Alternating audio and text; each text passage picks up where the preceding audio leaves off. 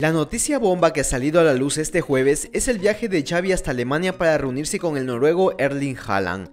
Todos sabemos que Haaland, a pesar de las dificultades económicas que atraviesa el Barcelona, es un fichaje bastante posible por cómo lo está manejando la directiva.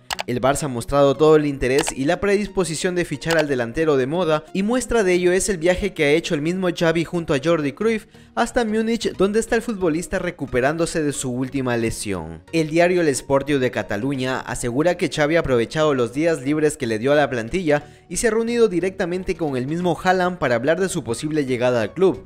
Recordemos que Haaland cuenta con muchas propuestas donde está la del Real Madrid y City entre las mejores opciones y por esta razón el Barça se ha querido adelantar. Lo que no cuadra en la noticia es lo de Jordi Cruyff, ya que el mismo día se decía que Cruyff estaba por Inglaterra junto a Alemania cerrando el fichaje de Christensen. Pero en cuanto a lo de Xavi, la noticia tiene bastante sentido. El equipo tuvo libre lunes y martes y como hemos visto en fichajes anteriores, el mismo Xavi se ha dado la tarea de hablar con los propios jugadores para explicarles el proyecto. Seguramente fue lo que hizo con Haaland, se reunió, le explicó el proyecto del Barça y los planes que tienen con él, que seguramente es catapultarlo para que sea el mejor del mundo en un futuro.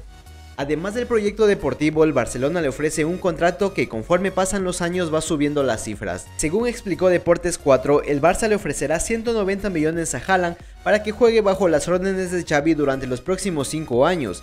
Durante el primer año el noruego cobraría 20 millones, el segundo 30, el tercero 40, mientras el cuarto y el quinto sería 50 y 55 millones de euros.